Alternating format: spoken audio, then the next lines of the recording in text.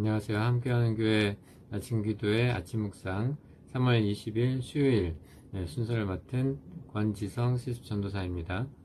예, 오늘 본문은 어, 역대상 8장 1절에서 40절까지 말씀입니다. 음, 예, 본문은 각자 읽으시면 될 것 같고요. 어, 제가 먼저 어, 묵상한 내용을 같이 나누고자 합니다.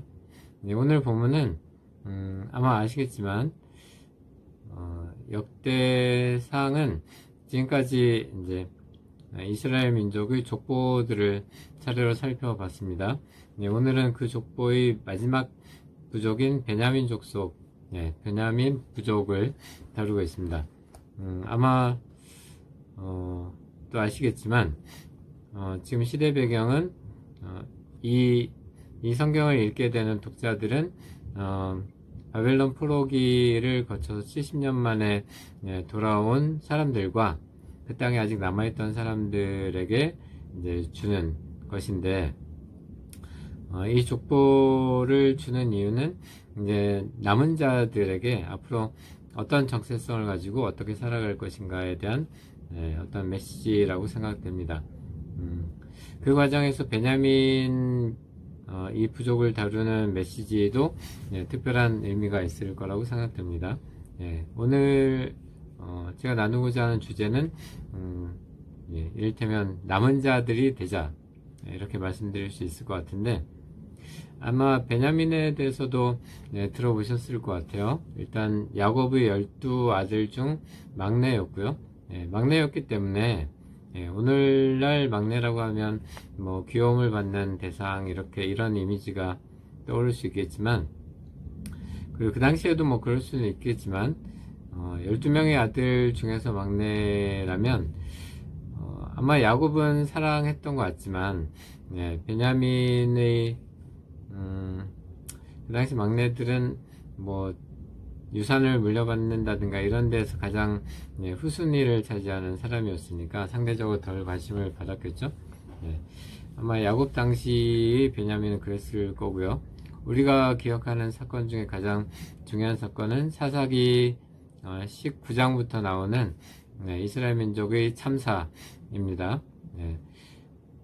어, 그, 그 일을 통해서 네, 베냐민 족 속과 나머지 민족들이 이제 전쟁을 벌였는데 예, 베냐민의 남자들이 거의 다 예, 어, 살해되었죠.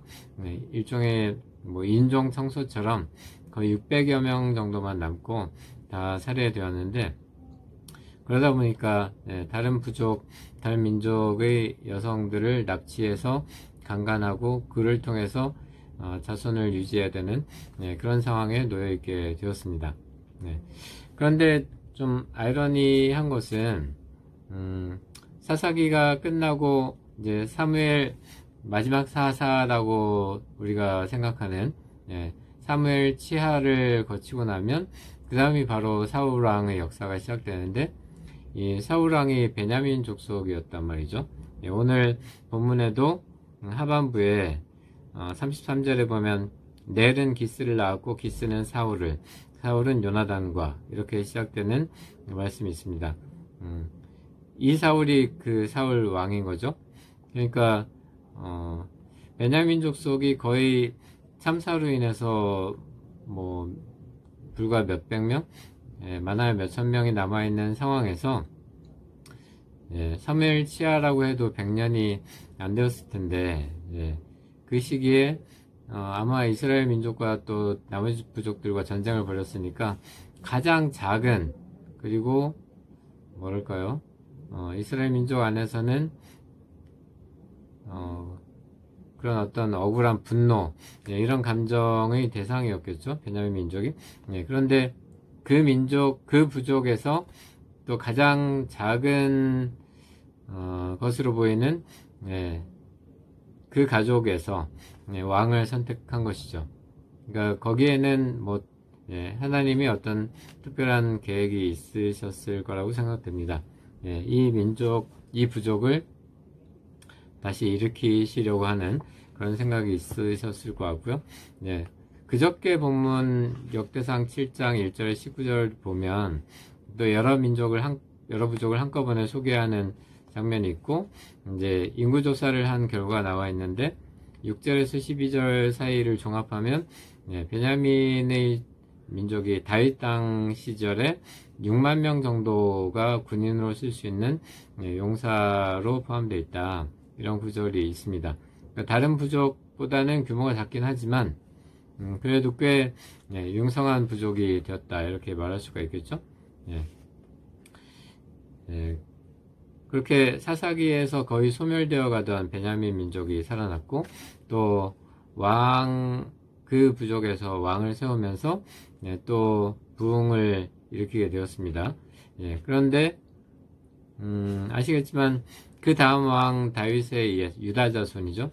예, 유다 자손의 예, 왕인 다윗에 의해서 또 어, 사울 왕가가 무너진 셈이잖아요.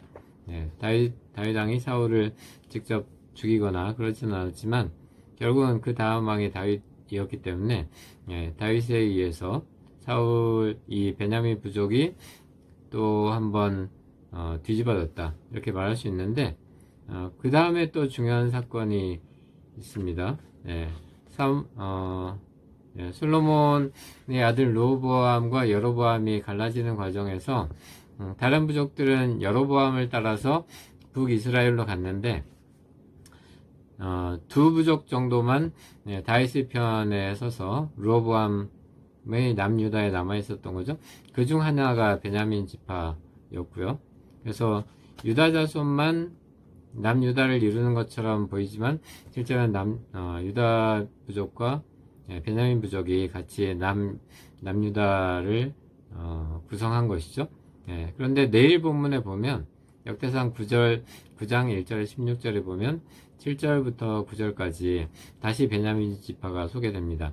그래서 베냐민 지파가 포로기에서 956명 정도가 돌아온 것으로 나와 있는데 음, 그러니까 베냐민 부족은 어, 사사기 당시 참사와 또 다윗의 다윗 왕에 의해서 사울 왕이 이제 네, 왕 왕의 지위를 잃는 그런 사건이 있음에도 불구하고 계속해서 이스라엘의 어, 한 예, 부족으로서 중요한 위치를 차지하고 있었다는 것을 볼 수가 있습니다.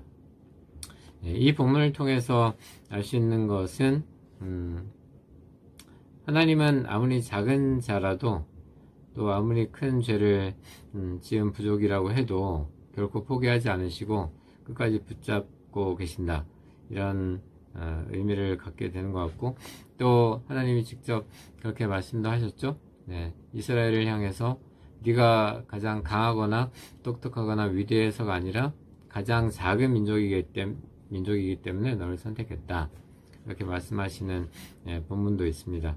어, 이런 본문을 통해서 우리는 음, 우리가 아무리 작은 자, 아무리 부족한 자라고 하더라도 끝까지 남아 있으면 네, 하나님 붙잡고 살아남으면 음, 하나님께 귀히 쓰일 수 있는 사람들이라는 것을 알 수가 있습니다.